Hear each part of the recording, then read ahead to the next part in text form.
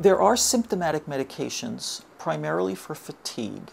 Um, the one that has had the most clinical studies done on it is pyridostigmine, or Mestinon is the name brand.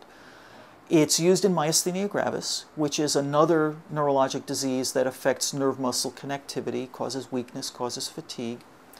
It's solely caused by the immune system, but that's something that post polio may share with it. So we've tried pyridostigmine in polio survivors to help with weakness, to help with fatigability.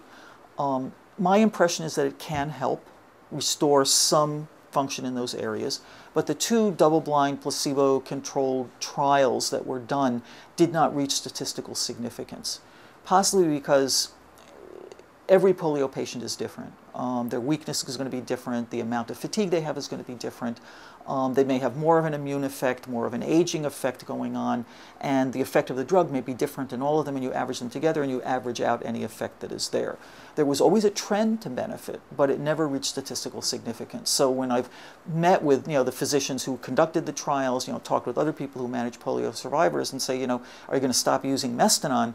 Because of these two studies, and they say no, you know, we're still going to use it in inappropriate patients. It does have side effects affecting the GI tract, um, but you know, I think it's a reasonable thing to try. Another one that's had at least one controlled study is modafinil. The brand name is Provigil.